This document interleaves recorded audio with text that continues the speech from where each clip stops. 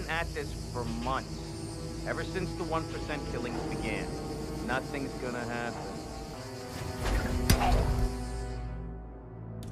Whoa.